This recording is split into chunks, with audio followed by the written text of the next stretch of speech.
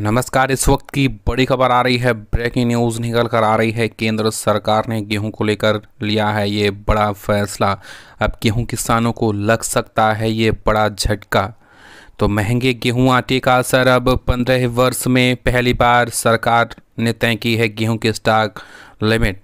तो जी हाँ बता दें कि गेहूँ और आटे की बढ़ती कीमतों पर नकेल कसने के इरादे से सरकार ने बड़ा फैसला लिया है।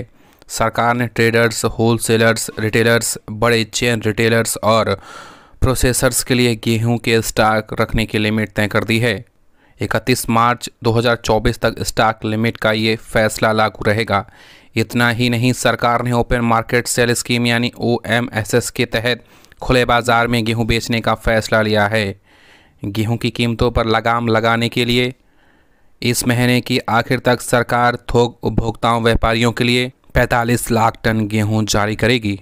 Department of food and public distribution के मुताबिक देश में खाद्य सुरक्षा और मुनाफाखोरी और जमाखोरी पर रोक लगाने के मकसद से केंद्र सरकार ने गेहूँ का स्टॉक लिमिट तय कर दिया है।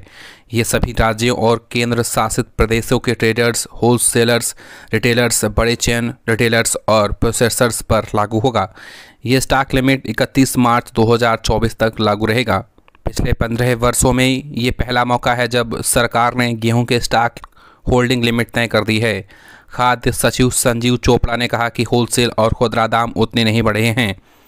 बावजूद इसके सरकार ने गेहूँ के स्टॉक लिमिट तय कर दी है।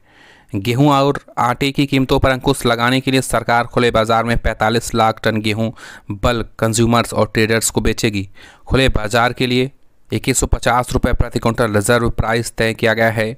पिछले महीने मंडी में गेहूँ की कीमतों में आठ फ़ीसदी के उछाल के बाद सरकार ने यह फैसला किया है और कहा है कि किसानों ट्रेडर्स के पास गेहूँ पर्याप्त स्टॉक है। साथ ही जमाखोरों ने भी स्टॉक होल्ड किया हुआ है। फ़िलहाल सरकार गेहूँ के आयात पर ध्यान नहीं दे रही है। गेहूँ के इंपोर्ट ड्यूटी कमी करने के सवाल पर खाद्य सचिव ने कहा कि अभी ऐसी कोई योजना नहीं है और देश में गेहूँ के पर्याप्त स्टॉक मौजूद हैं। हालाँकि गेहूँ के निर्यात पर लगी रोक जारी रहेगी। तो ये बड़ी खबर है ब्रेकिंग न्यूज़ आ रही है।